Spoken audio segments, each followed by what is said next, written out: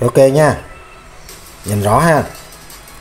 Con trên nè LTK 5110 con dưới nè 5110 nha. Ở dưới bụng của con IC này nè, nó có một cái miếng tản nhiệt.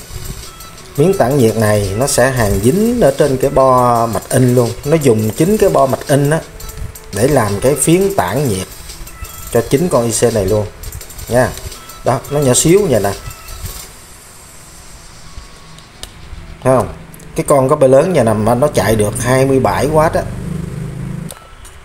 Sau khi mình à, lên data sheet mình tra đó, mình mới biết được cái sơ đồ chân của nó và mới biết được nó chạy tới 27W lần mà nó có chút xíu ha đó. Rồi để độ được con IC này, ha, thì mình cần phải biết cái sơ đồ chân của nó, mình mới độ được, nha rồi sau khi mình lên data suite đó mình tra đó thì người ta cho mình cái sơ đồ như thế này nè. Ha. Rồi mình có thể nhìn nè. Đây là IC LTK 5110 phải không thì nó chỉ có 8 chân thôi đơn giản ha. Rồi lần lượt nè. Chân số 1 là chân CTRL chính là viết tắt của cái chữ uh, control á, là chân điều khiển ha. Đây là chân số 2 nha. Chân uh, bypass. Đây là chân dùng để lọc nhiễu tín hiệu âm thanh nha. Rồi chân số 3 là chân ngõ vào in cộng. Chân số 4 là chân ngõ vào in trừ. Rồi chân số 7 là chân nối mát cho IC chân số 5 là chân ngõ ra ao trừ. Chân số 8 là chân ngõ ra ao cộng ha, dùng để nối vào cộng loa trừ loa thấy không? Đó. Chân số 6 là chân cấp nguồn VDD ha. Đó nó chỉ có 8 chân như thế này thôi. Thấy không? Cái sơ đồ người ta cho mình như vậy nè. Rồi ở đây người ta cũng có giải thích cho mình á, cái chân điều khiển. Đây chân số 1 là chân CTRL nè ha chân control đó. đó. Người ta cho mình cái bảng trạng thái thấy không? Chân số 1 nè. Đó. Khi mà mình cấp từ 0 cho tới 0,5V DC vào cái chân số 1 này thì ngõ ra loa nó sẽ bị ngắt. Ha. Là nó câm tiếng luôn. Cho dù lúc này á, vẫn có tín hiệu ngõ vào âm thanh đưa vào đây không? nhưng mà ở đây nó bị câm tiếng luôn.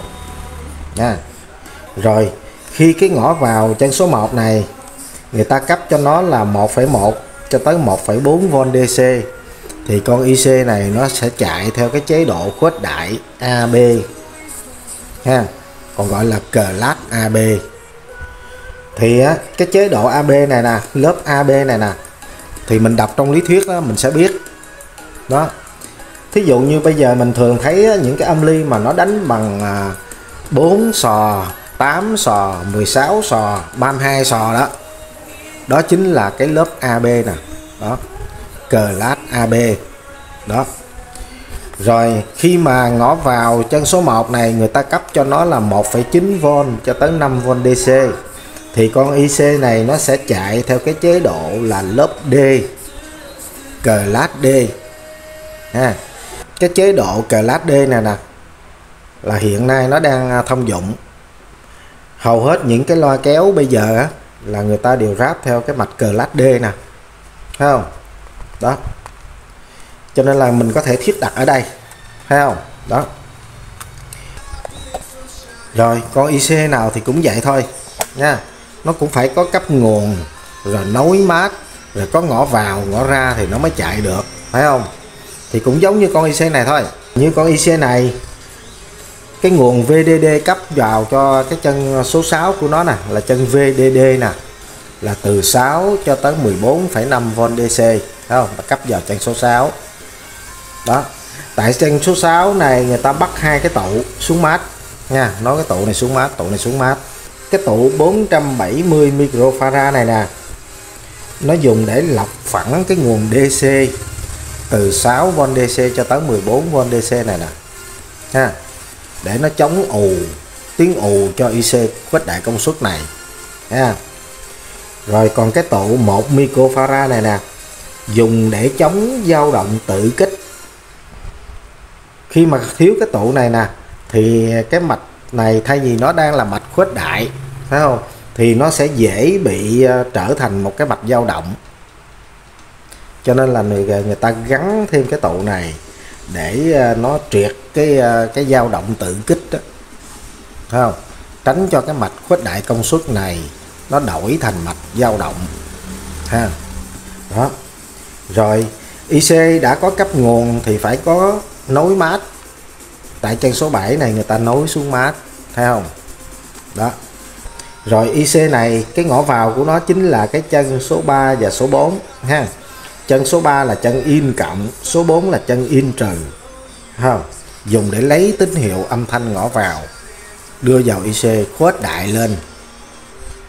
Rồi nó sẽ đưa ra hai cái chân số 8 và số 5 này nè, để nối vào cái loa. Đó. Cụ thể chân số 8 này là chân ao cộng, đưa vào cực cộng của cái loa. Rồi chân số 5 là chân ao trừ, đưa vào cực trừ của cái loa thấy không? Từ đây nó khuếch đại lên, đưa ra loa hát, thấy không? Mình chỉ cần biết như vậy thôi là mình có thể độ được cái bo mới vào trong cái men nha. Đây chính là mình độ vô nè.